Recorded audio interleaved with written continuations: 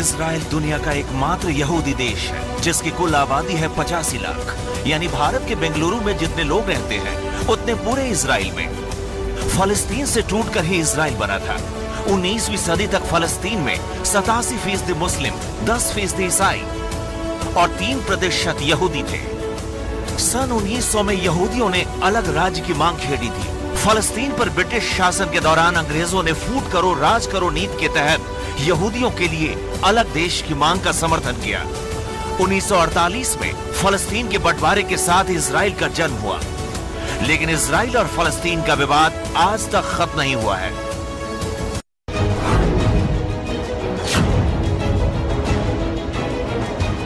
Israel दुनिया का सौवा सबसे छोटा देश है। अमेरिका के कैलिफ़ोर्निया में इसराइल जैसे 19 देश एक साथ समा सकते हैं।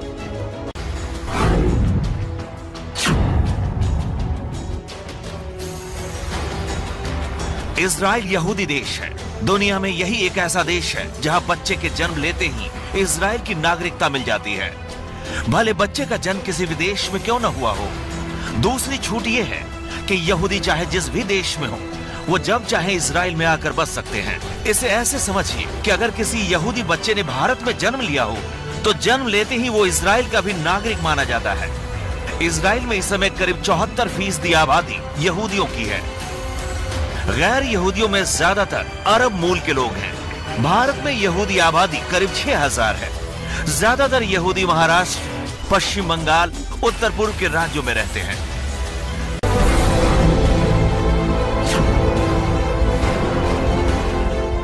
इसराइल है तो दुनिया का लोकतांत्रिक देश, लेकिन वहाँ ब्रिटेन और न्यूजीलैंड की तरह लिखित संविधान नहीं है। परंपरा सुविधा के हिसाब से नियम बनते और बदलते हैं।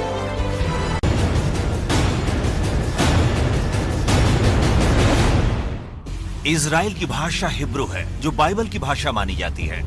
कहा जाता है कि हिब्रू ही अकेली भाषा है, जिसका पुनर्जन्म हुआ। हिब्रू और अरबी इसराइल की सरकारी भाषा है। हिब्रू को उर्दू की तरह दाहिने से बाएँ लिखा जाता है।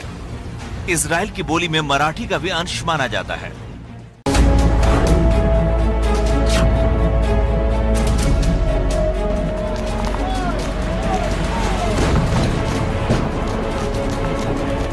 दुनिया में इसराइल को शक्तिशाली सैन्य देश के तौर पर माना जाता है।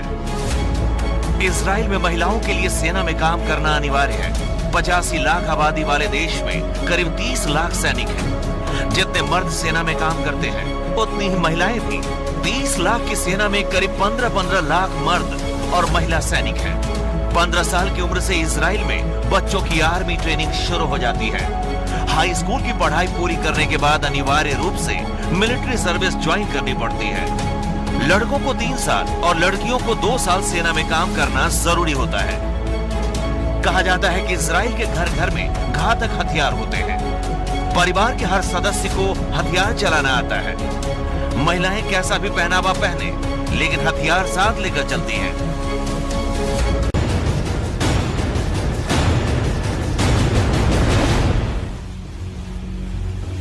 अगर किसी ने इसराइल को दुश्मन बना लिया है तो मान लीजिए कि इसराइल बिना बदला लिए नहीं छोड़ेगा।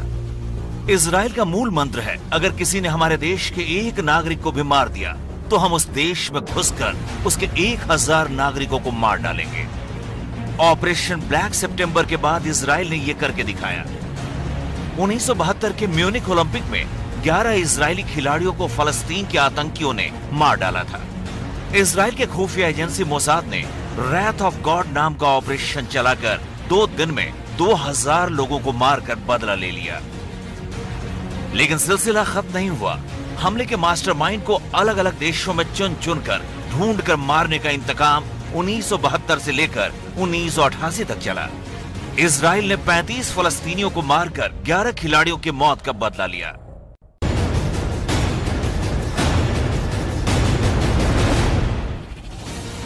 मोसाद को इसराइल की किलिंग मशीन कहा जाता है। म्यूनिक में इसराइली खिलाड़ियों के नरसंहार के बदला लेने के लिए तत्कालीन इसराइली प्रेसिडेंट गोल्डा मेयर ने मोसाद नाम की खुफिया एजेंसी बनाई थी। मोसाद के लिए काम करने वाले एजेंट को पहले ही बता दिया जाता है कि अगर वो पकड़े गए तो इसराइल उन्हें न तो पहचानेगा, न अपनाएगा। कॉन्ट्रैक्ट होता है कि उन्हें बरसों तक परिवार से दूर रहना होगा। मिशन के बारे में परिवार को भी नहीं बताना होगा। हालाँकि एजेंट के मारे जाने के बाद इसराइल एजेंट के सम्मान में कोई कमी नहीं करता। तेल अबीब में मोसाद का एक मेमोरियल है, जिसमें हर उस एजेंट का नाम है, जो किसी ऑपरेशन में मारा गया।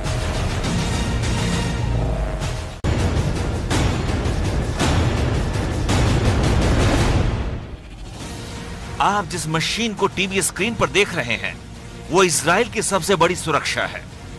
इसराइल में जवान बॉर्डर की निगरानी नहीं करते हैं। बल्कि ये जिम्मा मिला हुआ है रोबोट को। मिस्र से सटी सीमा पर इसराइल ने रोबोट गार्ड तैनात किए हुए हैं।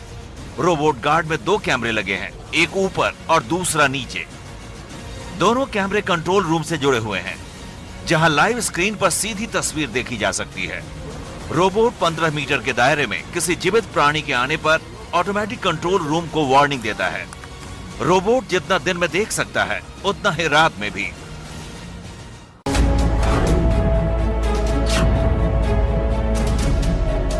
रोबोट गार्ड में लगे कैमरे इंफ्रारेड और नाइट विजन तकनीक से लैस हैं, इसलिए ये रोबोट गार्ड दिन हो या रात बराबर कुशलता से काम करता है। घुसपैठिए ने अगर वार्निंग के बावजूद सीमा में घुसने की कोशिश की तो सुरक्षा बल सबक सिखाने के लिए हाजिर हो जाते हैं। घुसपैठिए अगर इसराइल की सीमा में घुसने की कोशिश करता है तो ये रोबोट गार्ड बन जाता है उसका काल।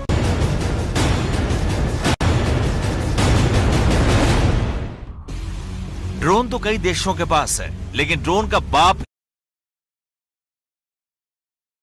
इसराइल के पास ही है। नाम है टीपी हेरॉन ड्रोन। इसराइल का ड्रोन एक टन वज़न उठाकर पैंतालीस हज़ार फुट की ऊंचाई तक उड़ान भर सकता है। टीपी हेरॉन ड्रोन लगातार 30 घंटे तक उड़ान भर सकता है। पीएम मोदी के दौरे की कामयाबी ये भी होगी कि भारत को इसराइल से ऐसे 10 ड्रोन मिलेंगे।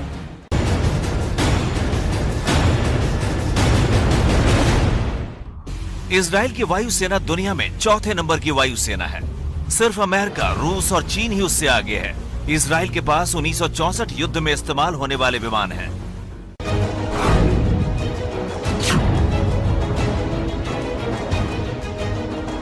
दिल्ली के तीन मूर्ति भवन का कनेक्शन है इसराइल से। पहले विश्व युद्ध के दौरान शहीद भारतीय घुड़सवार दस्ते के जवानों को श्रद्धांजलि देने और उनके योगदान को याद रखने के लिए तीन मूर्ति भवन बना था। उसी दस्ते के सम्मान में इसराइल में भारतीय कब्रिस्तान बना है, जिसे देखने के लिए पीएम मोदी जाने वाले हैं। 1918 में हैफा को आज़ादी दिलाने में भारतीय घुड़सवार दस्ते यानी कैबलरी ब्रिगेड ने लड़ाई लड़ी थी।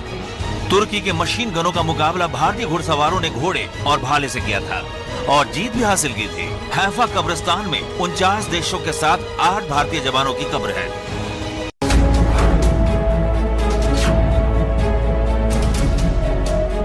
इसराइल में पानी की किल्लत रहती है। 60 फ़ीसदी ज़मीन रेतीली है। इसके बाद भी इसराइल तिरानवे प्रतिशत अनाज खुद पैदा करता है। इसराइल ड्रिप इरिगेशन, यानी बूंद बूंद पानी गिराकर सिंचाई करने का एक्सपर्ट है। इसराइल ने अशुद्ध पानी को शुद्ध करके खेती में इस्तेमाल करने की तकनीक इजाद की है। शहरों का गंदा पानी इसराइल में कीमती है। उसे जमा कर प्रोसेस्ड करके खेतों में डाला जाता है। पचासी प्रतिशत प्योरिफाइड पानी खेती में लगता है। दस प्रतिशत बाकी काम में। सिर्फ़ पाँच प्रतिशत गंदा पानी समंदर में बहाया जाता है। भारत में तो अठहत्तर फ़ीसदी साफ़ पानी खेती में ही लग जाता है। इसराइल में 250 कंपनियाँ पानी के कारोबार में हैं।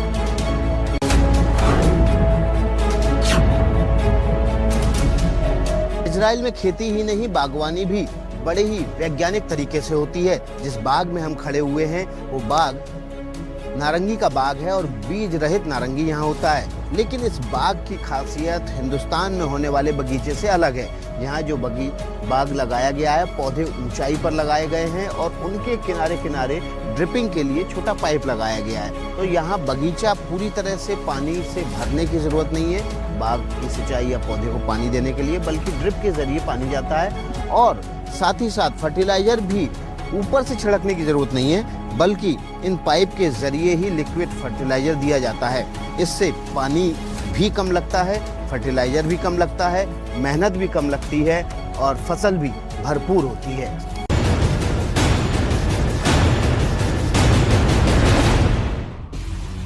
इसराइल का किसान एक दो एकड़ में खेती नहीं करता, बल्कि हज़ारों एकड़ में एक साथ कई किसान मिलकर खेती करते हैं।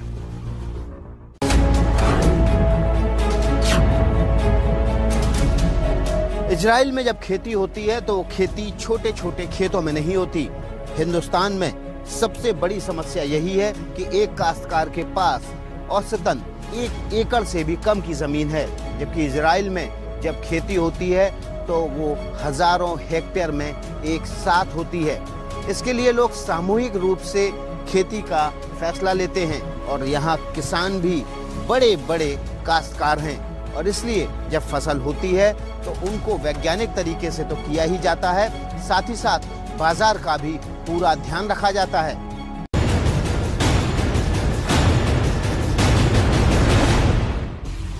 इसराइल में ऐसा एक समंदर है, जिसे टेट सी कहा जाता है।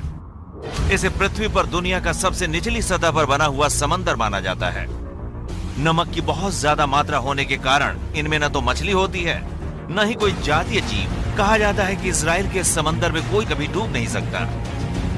वो हमेशा समंदर की सतह पर रहेगा। इसमें कोई रेत भी नहीं है। चिकनी काली मिट्टी होती है।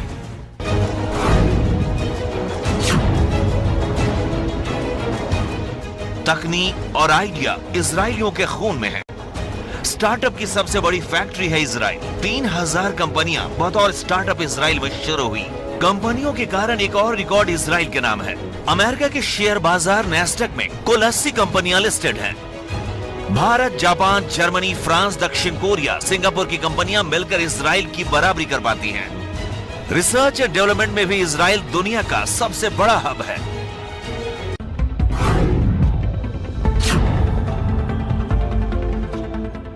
पासपोर्ट को लेकर इसराइल में अलग अलग नियम हैं। पाकिस्तान के पासपोर्ट में लिखा होता है कि ये पासपोर्ट इसराइल को छोड़कर सभी देशों के लिए मान्य है। मतलब पाकिस्तान इसराइल नहीं जा सकते। इसकी लड़ाई सड़सठ साल पुरानी है। 1948 में इसराइल के राष्ट्रपति बेन गुरियन ने यूएन सदस्यता के लिए पाकिस्तान का समर्थन मांगा था। लेकिन जिन्ना ने कुछ नहीं किया। हालाँकि तब भारत ने इसराइल की यूएन सदस्यता का विरोध किया था। लेकिन इसराइल ने इसका बुरा नहीं माना।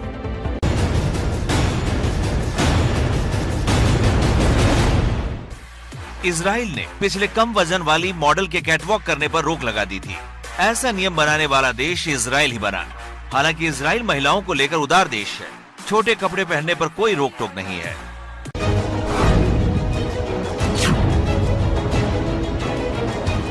इसराइल सबसे ज़्यादा संग्रहालयों का देश है। पीएम मोदी भी इसराइल का म्यूज़ियम देखने जाने वाले हैं। इसराइल में 250 से ज़्यादा संग्रहालय हैं। हालाँकि 13 संग्रहालयों को प्रमुख माना जाता है। 2013 में इसराइल में विश्व संग्रहालय दिवस मनाया गया था, जिसमें 130 देशों के बत्तीस हज़ार संग्रहालयों ने हिस्सा लिया था।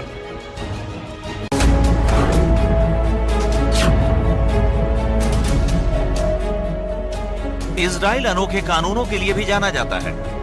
बिना लाइसेंस साइकिल नहीं चला सकते, सार्वजनिक जगहों पर पशुओं को नहीं खिला सकते।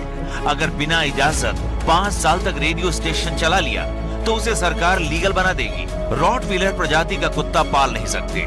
इसराइल की ज़मीन पर सुअर का दिखना भी मना है। अगर दिख गया तो समझिए मारा जाएगा। छुट्टी के दिन इसराइल में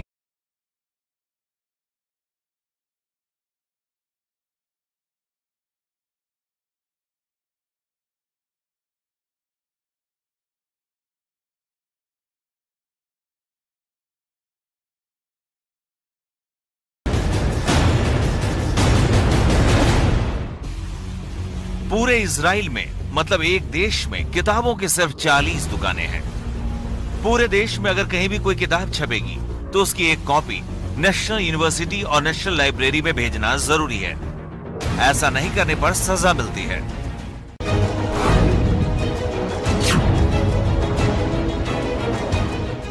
दुनिया के सबसे प्रतिष्ठित नोबेल पुरस्कार इसराइल के हिस्से में आए हैं। सिर्फ़ सड़सठ साल के इतिहास में इसराइल ने एक दो नहीं बल्कि पूरे बारह नोबेल पुरस्कार जीते हैं। छह नोबेल पुरस्कार रसायन विज्ञान के लिए, दो अर्थशास्त्र के लिए, तीन शांति के लिए और एक साहित्य के लिए मिला है।